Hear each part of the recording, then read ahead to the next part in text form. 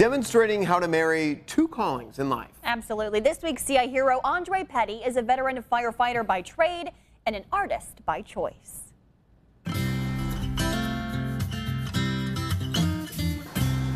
Andre Petty, a veteran firefighter with the Peoria Fire Department, answers the call no matter the time of day or night. We have, you know, a lot of brave, outstanding men and women from our department doing all kinds of dangerous things on a day-to-day basis. He's served nearly 25 years on the suppression side, now with the rank of captain. That stress, even if you don't recognize it, it can, it can take its toll. He's also an artist, channeling his experiences by spreading strokes of paint on canvas. It's kept me grounded, it's kept me focused. There's an abstract type of feel to it. This week's CI Hero says it's all about following your inner compass and not denying yourself what brings you joy. Know what you want, and even if you don't know what you want, lead yourself in that general direction. There are options out there. He sells his work across the U.S., but it also hangs in his home for personal enjoyment.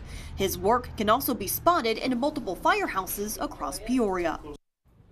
And you can nominate someone in your community to be our next CI hero. The submission form is located underneath the community tab on CIProud.com.